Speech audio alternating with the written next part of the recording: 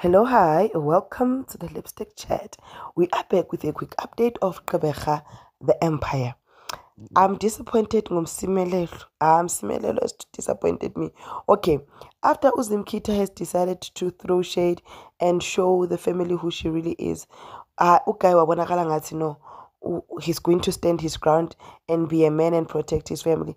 But Uzimkita sent him things that he could not resist, and he was tempted and went to Kazimkita. Arriving at Kazimkita ate the forbidden fruit, but we all know Uguti just wiping his mouth will not be enough. Uzimkita will make sure that South Africa knows Uguti what happened in that room. And once she does that, we all know Uguti the whole family will come crumbling down. With that said, untando azama ukukhuluma naye amuonishe athi guy guy you are walking on dangerous territory. This thing is not going to end well and it's not going to end well for you specifically.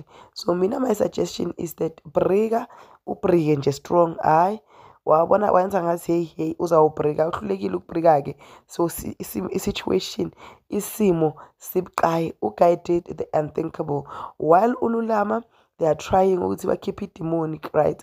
Manje akusese i-substance abuse they see it as i-demoni hhayi likhulekwe li-demoni left right and center lingaphumi. The way ugirl addicted ngakhona she's throwing parties she's acting like an addict literally.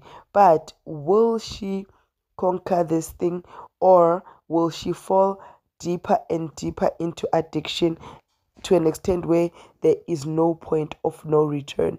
Considering ukuthi everybody now knows that her work her job description her paycheck is through which methods which also are degrading her when it comes to other women that are in the Mxenge family